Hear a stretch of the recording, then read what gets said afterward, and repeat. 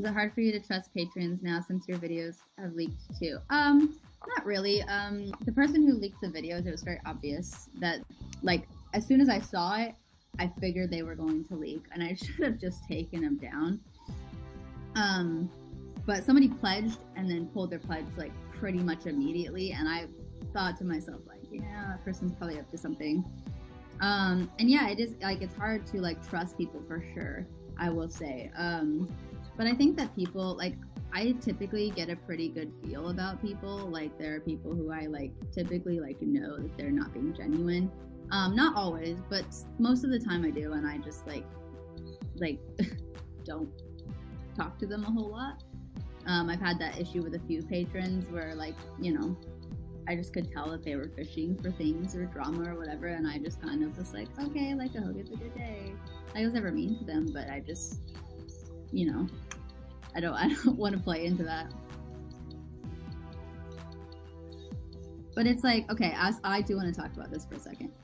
Um, so yes, as, as most of you I'm sure have seen, like my house tour from Patreon leaked, and apparently this is um, proof that we are not having financial problems.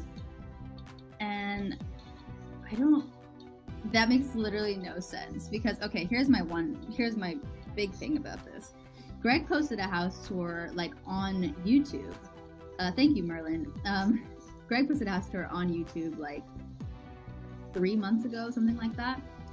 Um, thank you, Nina. And um, nobody said anything about it then. Like nobody was like, uh, thank you, delicate doll. Nobody was like, oh, you're scamming people, blah blah blah. But now that it's my house tour and I posted it on Patreon, people are like, oh, they have, you know, a nice house, so therefore they don't have financial issues. And it's the there was no correlation there because we bought this house when we were financially stable and before Adpocalypse and before the IRS and all of that stuff. It's not like I went and bought this house last week. We actually we had this house paid off and we had to go and remortgage it because of pending financial street, uh, stress. People with money problems, foosball tables. Yes, I already talked about this. Uh, the foosball table that is new, we got for free. We did not pay for that just like uh, the pool table we have was here when we moved in. We didn't pay for that. Mostly everything that we have that is not business related, we got for free or it was a gift. But like my house has nothing to do with like the size of my house has nothing to do with the fact that we're being audited or the fact that adpocalypse happened because that wasn't something any of us expected.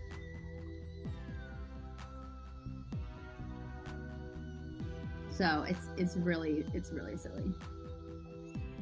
So I'm financially stable right now because I bought my Louis V bag four years ago. Exactly. like it, there's no correlation, and if you guys want to think that, that's fine. But I mean, for the most part, I've like seen like it hasn't like you know, I don't have a bunch of people like, wow, you scammed me. Didn't you get that house like two, three years ago? Yeah, we bought this house in 2015. So, uh, way before adpocalypse happened. And like I said, we, um, thank you, Hannah, for 100 bars. We, so we had bought uh, the set um, last year. And we ended up selling that because of financial problems. And, um, we also so we used that money from the set to pay off the rest of this house so that we wouldn't have a mortgage.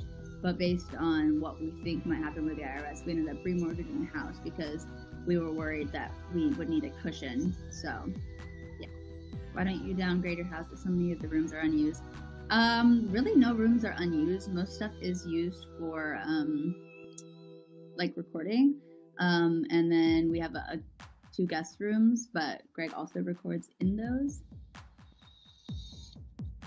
How are you? I wouldn't talk about money stuff. Well, I mean, Greg, I'm not saying anything Greg hasn't already said, so